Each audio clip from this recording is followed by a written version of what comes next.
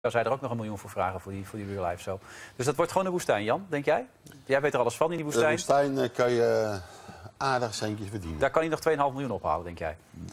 Wat- Albert Heijn zakje mee. Legt al lang. Ik denk wel meer ook, denk je. Ja? Daarbij, Ja. kijk, Dirk Kuyt, die is ouder dan hij. Maar de fitheid van Dirk Kuyt, daar heb ik veel meer vertrouwen in Dan bij hem. dan bij hem. Want hij is heel erg blessuregevoelig, hè? Ik las trouwens dat die Diba, die verdient er ook iets van 2,5 miljoen. eh dat is niet te geloven. Die speelde een beetje bij NAC en die staat dan nu gewoon in, een- in die woestijn eh, 2,5 miljoen of 3 miljoen per jaar Dan had je jouw keeperscarrière maar wat Ja. serieuzer moeten nemen. Maar joh. had je Als dat, je dat Saudi gaat, dan kun je nog meer pakken.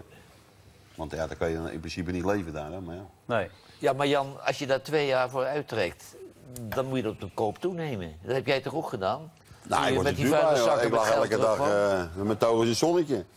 En elke maand eh, ging ik... eh, dat was heerlijk, man. Weet je wat ik zag? nee. Schaamde jij je wel eens? Helemaal niet. Geen meter. Nee, nooit Nee. geschaamd. Maar Ik moet ook wel zeggen, ik heb één keer... Ja. De sfeertje heb ik met, met al die moderne slaven in de rij gestaan, weet je.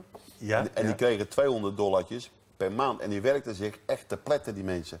Het treinknecht en Ja, zo. ja gewoon, die, die, die, de, de gasten Ja. alles neer en eh, die liepen erachteraan. Ja. En toen Ja, kwam jij. En toen kwam ik. Ja, toen eh En ging je reiskoffer En open. oei, oei, dat moet ik niet meer doen. En dan ben ik eh, één keer geweest. Ja. weet je wel, maar hij kan echt veel geld verdienen daar. En maar netto. Lekker man. Ja. Maar hoe, hoe kreeg jij dat geld uit dat land dan? Nam je gewoon mee, heeft hij vorige keer toen verteld, toch? In een zak. Jawel, maar je, je moet toch aangeven bij de douane als je heel veel geld bij je hebt? Nou, ik, ik ben één keer aangehouden, jongen. En de grote vraag, maar die, die, die had gezegd... je moet een, een papiertje meenemen, weet je, dat er van de bank gehaald had. Dus dan mocht je zo door naar huis. Valsheid en geschriften Ja. dus. Nee, je was officieel, jongens. Ik nou weer te lullen, man, met vast en schrift. En, maar ik, ik kwam niet zeggen ja, dat, dat ik van die meneer had daar, weet je wel. Er hing zo'n hele grote foto van die sheik. En ineens, hop, gelijk als een, als een raket gingen die gasten staan. Oh, oh, Ja, maar ik heb het meer over de douane in, in Europa. Als die jouw koffer open doen en ze krijgen de indruk... Nee, je hebt bewijs van de Ah, bank. ze hebben hè? de, eerste, bewijs van de bank. de eerste keer dat je daar stond, schijnen ze de, hebben ze het opengemaakt en geteld. Maar toen waren ze twee weken bezig. toen zei ze, laten we dan maar niet meer doen. Hoop ik. Dat als, als Lekker ik, man.